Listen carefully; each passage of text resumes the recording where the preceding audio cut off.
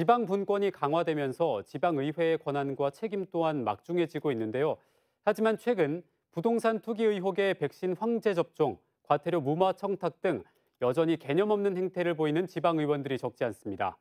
국민의힘이 내년 지방선거부터 지방의원 자격 시험을 도입하기로 한 가운데 공천이 곧 당선으로 여겨지는 민주당 텃밭인 광주 전남에서도 후보 검증을 강화해야 한다는 목소리가 커지고 있습니다.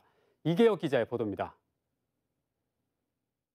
청원경찰에게 대리 주차를 시킨 광주 광상구의원과 교통 과태료 무마를 청탁한 서구 의원들, 부동산 투기 의혹으로 기소된 신안군 의원과 백신 황제 접종을 한 목포시 의원들, 차질 논란을 빚고 있는 지방 의원들의 모습입니다.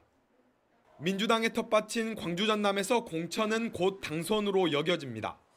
하지만 공천은 주민이 아닌 지역위원장의 영향력이 절대적입니다.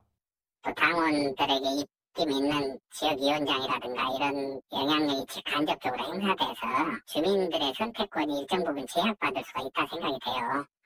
국민의힘은 내년 지방선거부터 지방의원 후보자들을 대상으로 자격시험제를 도입하기로 했습니다.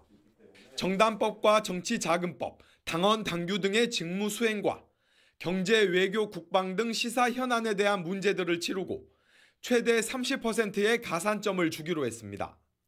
이른바 줄대기 공천을 막고 능력 있는 후보자들을 선출하기 위해 민주당의 후보 검증 시스템도 강화돼야 한다는 지적이 나오고 있습니다. 청년들 입장에서는 그 사람들 앞에서 잘 보여야만 이런 게 되고 그러니까 좌절이 좀 많이 될 것 같아요.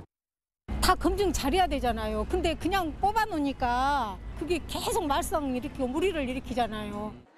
주민들의 의견을 더욱 수렴하기 위해 공천 과정에서 일반 여론조사 반영 확대나 시민 배심원제 도입 등의 필요성도 제기됩니다.